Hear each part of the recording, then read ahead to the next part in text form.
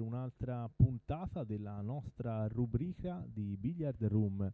È qui con me il, il vicepresidente della federazione e responsabile del nazionale della sezione stecca, Claudio Bono. Buonasera Claudio. Ciao Nicola, piacere essere qua con voi con Bet Italy.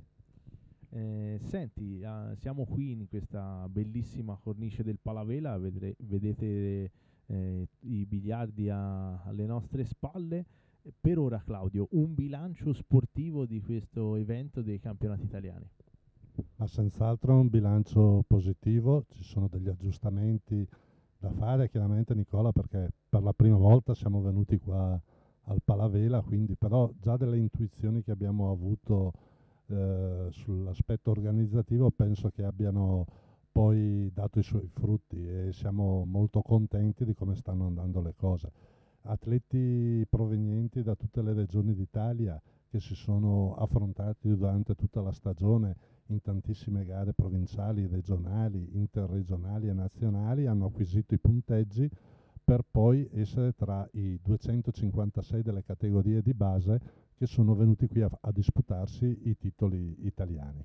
Titoli italiani, Claudio, che hanno già avuto tanti verdetti perché si sono giocati eh, le terze categorie e ha visto la vittoria di Emanuele Capasso. Guarda, io mi sono stampato volutamente per citare anche i CSB, perché per me quelli sono l'anima della nostra federazione, le associazioni sportive che fanno crescere questi ragazzi, lì ci sono dei giocatori magari più esperti che gli insegnano il biliardo sportivo e pertanto, come tu hai detto, Capasso ha vinto nelle terze categorie e Capasso è un giocatore della provincia di Napoli del CSB Terminator. Questa parola senz'altro ti farà tornare alla mente come grande vitale. un grandissimo Vitale, un Vitale amico e un grandissimo giocatore. Lui E ha fatto la... prematuramente ci ha, lasciato, ci ha lasciato troppo presto. Sì, guarda, ero assieme il giovedì e la- quando la domenica sera fu ricoverato in ospedale mi ricordo ancora la telefonata con Giuseppe Maria delle Bellis, un altro carissimo amico di entrambi, e le ore di attesa e la speranza e le successive telefonate. Purtroppo avevamo finito la prova a Buccinasco. Eh, pochi giorni prima mh, non si sentiva molto bene e mi aveva detto appunto che rientrando a casa sarebbe andato a fare dei controlli e purtroppo non c'è stato niente da fare, una cosa fulminante, quindi ci ha tolto un amico, un grande campione e soprattutto ci ha, credimi, io in tantissime occasioni, qua, lo sai bene che tra i giocatori spesso nascono delle discussioni, dei dissidi, Vitale si è sempre adoperato per portare la pace tra tutti e, di far, e tenere unito il gruppo. Lui aveva questo senso del biliardo, diceva noi siamo tutti assieme a girare l'Italia a portare eh, il biliardo sportivo in tutte le città, eh, a esprimere il gioco, dobbiamo dare anche un esempio di unità di intenti se vogliamo seminare per il futuro del biliardo. Tornando al discorso delle terze categorie, il, Emanuele Capasso, fratello, E figlio d'arte perché è allievo del papà e Eh, è allievo anche un po' del fratello, del fratello Tommaso. Tommaso, già prima categoria da anni, segnalato dal comitato campano per passare a master, giocatore che ha già vinto parecchie gare importanti. E oltretutto mi ha fatto una confidenza proprio mh, eh, l'altro ieri quando l'ho incontrato, mi ha detto che i giorni prima della, della gara del fratello eh, era- si è emozionato molto perché fino a tarda notte si mandavano i messaggi, ha cercato di farlo arrivare qua tranquillo dal punto di vista psicologico e di aiutarlo ad affrontare questo evento, lui avendo molta più esperienza ovviamente. Lui ha fatto la finale con San Filippo Matteo. San Filippo Matteo è un giocatore del Ragusano del Baby Games 2. E diciamo che noi abbiamo seguito la partita, senz'altro sono giocatori già maturi per entrare nelle seconde categorie e a scanso di equivoci voglio dire che indipendentemente dal risultato qui del Palavela era già in programma da parte dei loro comitati, anzi avevano già con la chiusura delle classifiche eh, assegnato a entrambi il passaggio nella, categoria, superiore, an- senza tener conto di un eventuale risultato positivo qui al Palavela. Nelle seconde categorie poi eh, ha vinto il Comasco Matteri. Sì, che ha tesserato al CSB Carlo, è un ha allievo. giocato molto molto bene. CSB Carlo di Como, come hai detto tu, l'ha giocato la finale con un giocatore invece del sud, di Messina precisamente, la Biliardi Sud, Barile Renato. È stata una partita vincente anche quella e anche loro hanno dimostrato già di essere maturi nelle scelte di gioco per passare nella categoria prima. Superiore. Poi ci sono stati i, gli juniores, gli juniores i ragazzi, eh, un, c'è stato parlando anche con il responsabile juniores eh, Roberto. Minutella, Roberto Minutella, eh, praticamente c'è stato un cambio generazionale perché sono usciti dalla categoria Attianesi, Aragonesi e Foti che erano, che erano i tre grandi degli ultimi tempi, ma, ma questo è nella vita, crescono e ne arrivano degli altri, l'importante è che arrivano sempre altri che maturano nel corso degli anni, Io infatti a quelli che hanno perso ma che hanno dimostrato già di giocare bene ho cercato di portargli di stimolarli per una parola di conforto e soprattutto di fargli capire che ha, hanno davanti ancora tantissimi anni per disputarsi questo titolo e ho cercato di fargli capire soprattutto che eh, ci sono arrivati certi giocatori in diversi anni a, a, vincere il titolo. Poi tra parentesi. Tra l'altro Matino, il vincitore, aveva fatto qui, quinto posto per un paio d'anni consecutivi, poi all'ultima occasione, perché Infatti. Riccardo aveva l'ultima occasione per vincerlo, eh, essendo già una prima categoria, quindi abbandonava eh, quest'anno, quest'anno era l'ultima chance per vincere il titolo, alla fine ha atteso il suo momento e è riuscito a vincere contro un altro ragazzino sedicenne che sì. si è guadagnato già il passaggio in seconda categoria quest'anno per l'ottimo risultato Spinelli Pierpaolo. ai campionati Spinelli italiani Pierpaolo Spinelli del CSB Masse di Paolo esatto. Marcolin. E mentre Mattino Riccardo è di Milano del nuovo Gran Biliardo. Ma eh, non so se tu hai avuto l'occasione io oggi proprio ho letto e mi sono commosso nel leggerlo le parole del, di un post proprio di questo ragazzino di Pierpaolo che si complimentava per il titolo di Paolo Marcolin ma un post perché veramente e, dolce. E si passa alla categoria Master perché la finale Master è stata giocata tra Paolo Marcolin e Daniele Montereali, i favoritissimi di questa specialità erano sotto del, almeno di una categoria, dico almeno perché sì, sono stati per molti anni. Lo sai benissimo sicuramente. Hanno, non hanno giocato, quindi non acquisendo i punteggi, eh, non potevano stare in una classifica che determina le categorie d'eccellenza esatto. dei nazionali e dei, e dei, professionisti. Quindi Paolo Marcolin eh, aveva già acquisito dalla BTP il, il, il um, diciamo, aveva già acquisito la categoria dei nazionali tramite la BTP e ha messo la ciliegina sulla torta vincendo il titolo di campione eh, italiano. Ti invito a cliccare e andare a cercare quel messaggio perché traspare eh, quanto sia affezionato Pierpaolo a, al maestro, il suo maestro e, e oltretutto presidente del CSB Massé. E bello, pupillo, veramente bello. È il pupillo di quella sala, sì. anche è il pupillo il babbo, di tanti giocatori di... di biliardo perché Paolo ha, ha una condotta esemplare sia di gioco ma soprattutto di, di eh, di vita comportamentale fuori, e, fuori, e dentro il biliardo. Oltretutto, eh, visto che stavamo parlando del titolo degli juniores, eh, voglio ancora ricordare anche qua è una cosa che mi sta molto a cuore. Quando noi abbiamo ripristinato la categoria dopo anni che non si giocava ho voluto col consiglio federale intitolarla proprio a Riccardo Masini che è l'emblema di questa categoria. Dopo aver vinto tanti titoli italiani, europei, eh, è approdato nelle categorie d'eccellenza, si è vinto anche una San Vincent, all'epoca c'erano quasi 2000 partecipanti in quella che, che ha vinto lui, ma soprattutto perché oltre a rappresentare un passaggio dalle varie categorie questo giocatore e, fino a entrare nella categoria quella più ambita dei professionisti, è sempre stato un ragazzo eh, che dal punto di vista del comportamento, del rispetto dell'avversario, del rispetto del gioco del biliardo è stato sempre impeccabile. L'insegnamento per tutti. Poi si passa alla novità di quest'anno, è la categoria eh? juniores eh, eh, seniores. Penso che ti sarai emozionato anche tu nel vedere i giovani e poi con subito insieme ai seniores.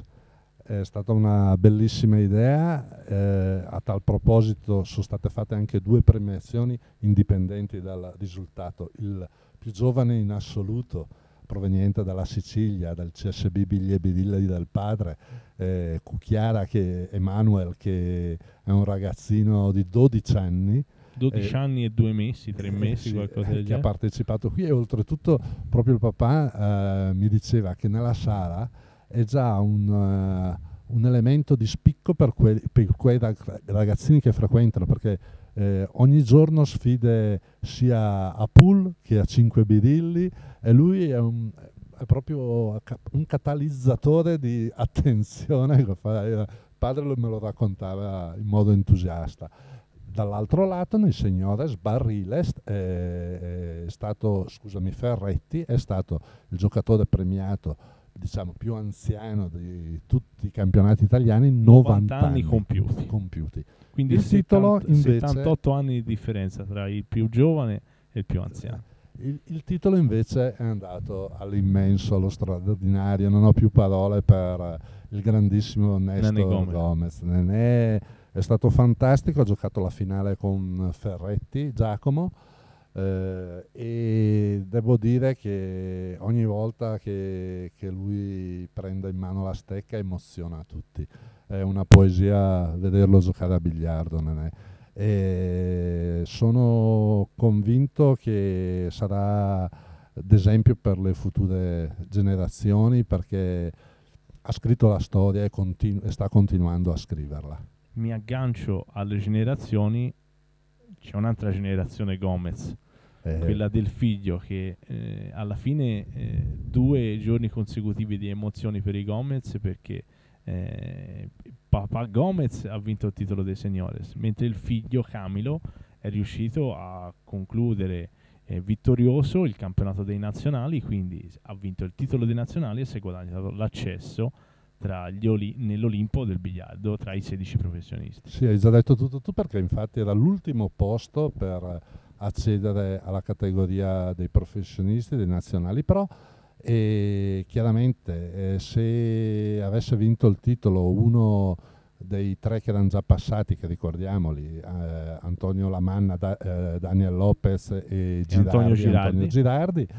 eh, dava la possibilità di entrare nella categoria Achille Mignolo, mentre avendolo vinto uno che non era passato è lui il eh, sedicesimo professionista della prossima stagione Camilo uh, ha fatto dei passi da gigante, io l'ho seguito. Ha vinto il titolo dei nazionali da neopromosso, Claudio. Sì, sì, ma eh, dico negli ultimi anni, io l'ho visto crescere in modo esponenziale. Praticamente eh, ha fatto tre categorie in quattro anni. Sì, è vero, è vero, è vero. È è stato, ha fatto un'ascesa una, incredibile. Penso che sia stato bellissimo vedere l'emozione di Nenè subito al termine della partita quando tu l'hai anche intervistati erano assieme. Erano eh, emozionati entrambi. Eh, l'abbraccio che c'è stato, la dedica alla famiglia, a, a, a sia alla moglie che all'altro figlio Guido che gioca a pallone come ricordiamo. È stata una bella pagina di storia del biliardo, senz'altro chi è stato presente o chi l'ha visto tramite appunto le vostre trasmissioni di Bel Titoli ricorderà questo momento come un gran momento di sport. È stata bellissima la domanda che ha fatto, anzi non è stata una domanda ma è stata eh, un, una parola che ha fatto omaggio a Gomez e gli ha detto adesso basta, com'è che a 100 anni vinci ancora? Beh, eh, diciamo innanzitutto che ne ha 76, 76, sta, quasi 76 del 41. E diciamo inoltre che il prossimo mondiale è stato dedicato proprio a lui. Eh, verrà disputato in Argentina, Necocea, nella sua città Natale. Natale, quindi tutto il mondo del biliardo vuole bene a Nenè perché Nenè ha dato tanto e continuerà a dare tanto, sono straconvinto. Tutta la scuola biliardo che ha fatto in tantissimi anni ha generato dei grandi campioni e continuano a uscirne. Ogni anno escono persone che quando vai a chiedergli ma chi è stato il tuo maestro ti dicono Nani Gomez. Gomez, quindi senz'altro positivo. Voglio ricordare anche ovviamente l'altro finalista con Camillo che è eh, che Ciccioletta. Ciccioletta. Ciccioletta oltretutto detiene un record che eh, no, non so se, se, te lo ricordi, sarà difficile da, perché ultimamente non si sta giocando, però ha vinto una San Vincent senza mai perdere una, un incontro, un neanche incontro. un set. Tutti gli incontri 2 a 0. Perché sì. già il gioco della Godiziana è fatto anche di piccole sfumature e lui ci è riuscito. E poi abbiamo parlato di un'ascesa di, di, di un Gomez, del Gomez eh, giovane di Camilo e parliamo anche di un gradito ritorno, questa volta tra le, tra le donne.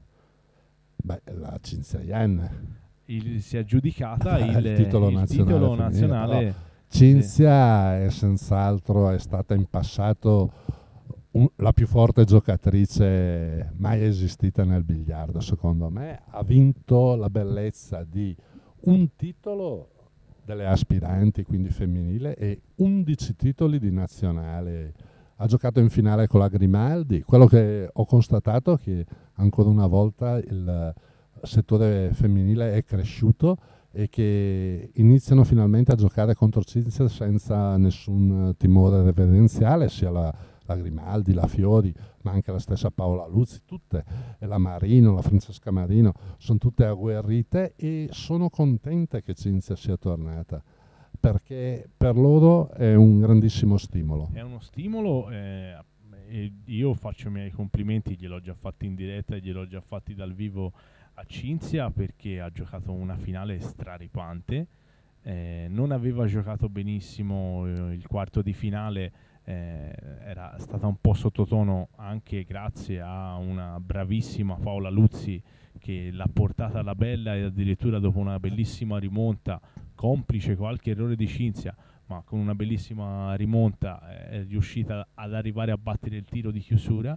Quindi Cinzia ha sudato eh, non poco per, per, conquistarsi la semifinale. La semifinale ha avuto ragione 2-0 dello, della UG e poi in finalissima Enza Grimaldi ha dato tutto quello che c'era da dare, ma Cinzia è stata davvero straripante. Io non mi ricordo un tiro in cui non abbia marcato il filotto. Guarda Nicola, forse tu ancora non frequentavi il circuito. Nei primi anni io mi ricordo che Cinzia ha fatto anche qualche prova aspirante. Era il periodo in cui mi ricordo il presidente provinciale del suo comitato mi chiamò e mi disse senti Claudio ho un problema in provincia perché ho una ragazza che gioca e mi batte le prime categorie qua e lo sai che nella provincia di Lecce sono forti le prime categorie non sono eh, come la devo classificare quando gioca i tornei misti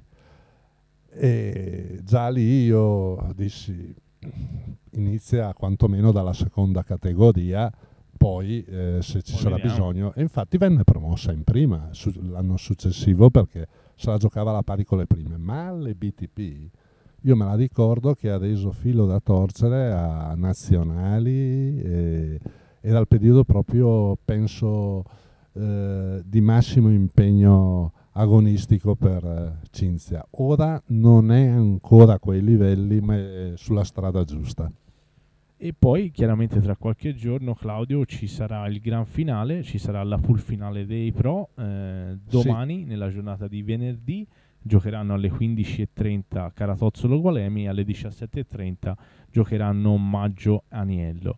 Eh, Mamma sarà, mia che scintilla. Eh, sarà davvero, se chiaramente noi invitiamo tutti coloro che che possono recarsi qua al Palavela a venire a vedere gli incontri dal vivo perché ci sarà una ripresa RAI ma sarà differita. Sì, poi eh. successivamente la RAI ci farà sapere il palinsesto perché riproporrà tutta la pool finale dei professionisti e molto probabilmente anche la finale dei del, tutti del, doppi. del tutti doppi a dei coppie. tutti doppi che è prevista domani per le ore 21 per chi vuole venirla a vedere dal vivo qua al Palavela e poi dopo sarà trasmessa in differita Rai. Volevo dire che gli abbinamenti è da sempre che praticamente il primo in classifica al termine delle prove gioca al secondo giorno, quindi, il Quindi- secondo Quindi Gioca al quarta, primo giorno. esatto, in quindi questo quarta caso appunto giocherà Gualemi giocherà con Caratozzolo.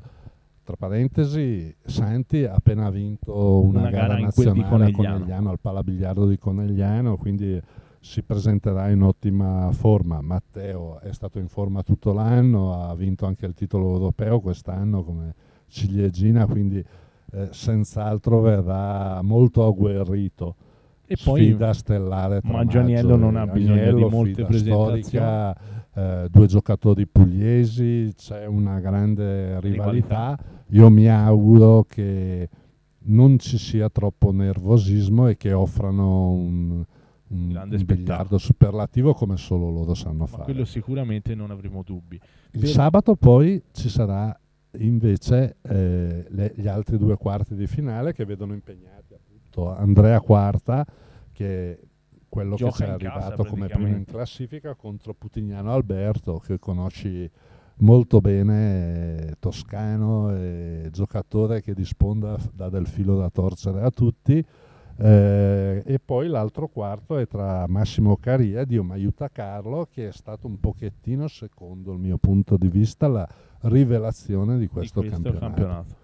Eh, E poi dopo Claudio, eh, perché siamo un po' stretti come tempi, eh, abbiamo poi ci sarà la una semifinale che sarà registrata nel- nella domenica pomeriggio e alle poi 17, alle la- 17 e chi vuole venirla a vedere dal vivo qua al Palavela e poi ci sarà la diretta Rai domenica alle, alle 23 23 dalle 23 all'una una semifinale e poi la finalissima verrà giocata il lunedì 3 luglio dalle ore 17. Sì, esatto.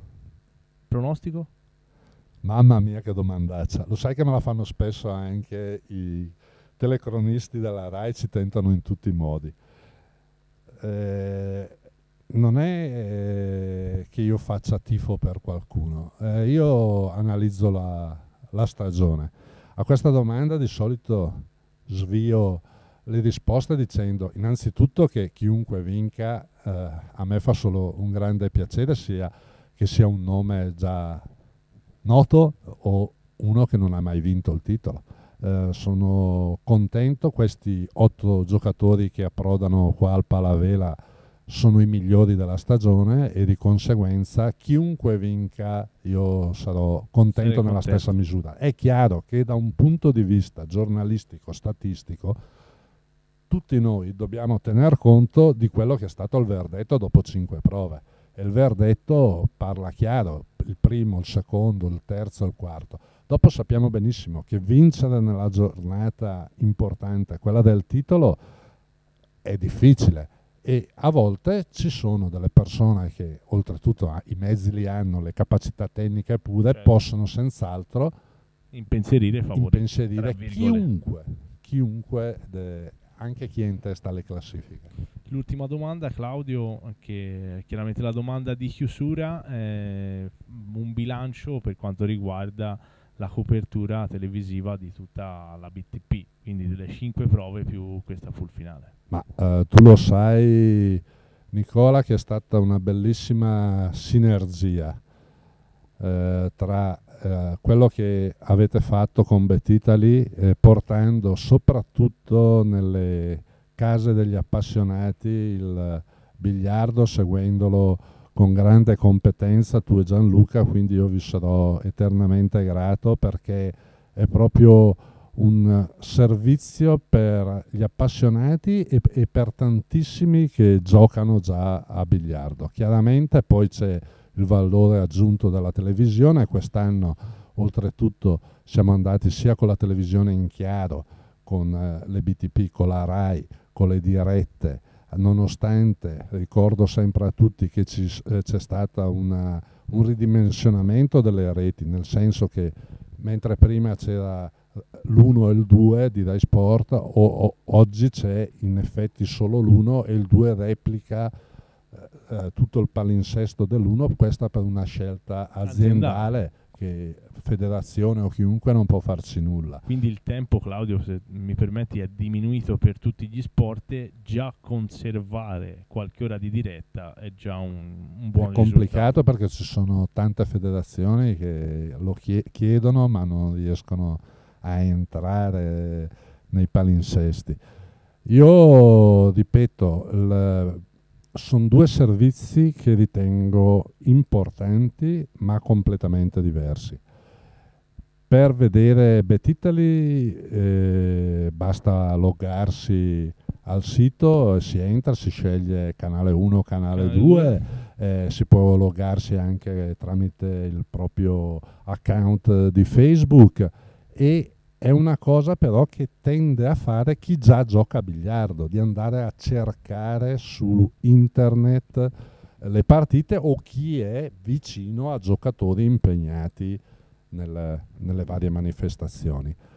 Ma altrettanto importante è la televisione perché appunto entra in, nelle case di tutti e spesso e volentieri ci sono tantissime persone che mi fermano poi riconoscendomi eh, sia mi è capitato dal benzinaio piuttosto che dal macellaio eh, che mi parlavano erano al corrente dei nomi dei giocatori ma fate vedere ancora Andrea Quarta fate vedere ancora Michelangelo Agnello il Crocefisso Maggio come sta andando quest'anno? Quindi senz'altro sono due servizi che servono a portare nelle case di tutti il grande biliardo sportivo. Quest'anno poi c'è stata anche l'esperienza dei principi del biliardi su Fox, quindi una televisione di, praticamente che fa parte del gruppo Sky e quindi con uh, una, che conta sempre milioni di abbonati, di abbonati e che hanno trasmesso delle bellissime partite con uh, un'ottima qualità di immagine e di commenti tecnici e commenti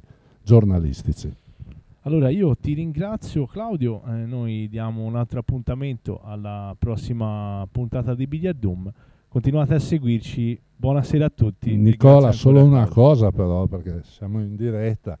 Se si dovesse avverare che facciamo la, la finale del tutti doppi, io ho una richiesta da farti, visto che tutta la manifestazione del tutti doppi l'hai portata avanti insieme a Gianluca e visto che ci sarà presente oltre a Enrico Cattaneo come commentatore anche eh, di Lauro, Luigi Di Lauro, per fare quel famoso salottino che si era fatto anche in telecronaca, mi devi promettere che verrai a trovarci insieme a Gianluca in modo di contribuire a commentare il, questa grande partita che sarà un, un'ennesima ciliegina sulla torta ti ringrazio Claudio, sicuramente verremo a trovarti io, io, e Gianluca e ti ringrazio davvero per l'invito.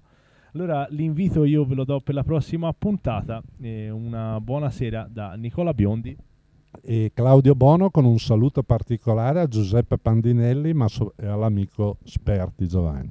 Grazie, buonasera.